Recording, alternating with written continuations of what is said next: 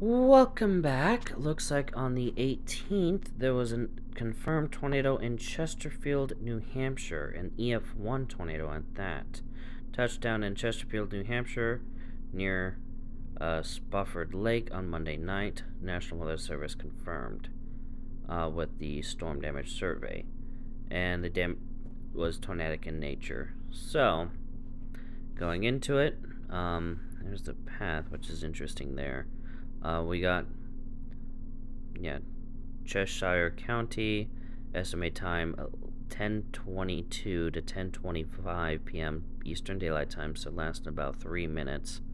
EF1 rating, um, 90 mile an hour winds, 250 yards wide, and a third of it traveled a third of a mile. Um, so basically would have traveled a mile like every 10-ish minutes. Um, so that was a pretty slow-moving tornado. Um, so yeah, uh, that does seem to be it for right now. Stay safe out there. See you in the next video. Bye.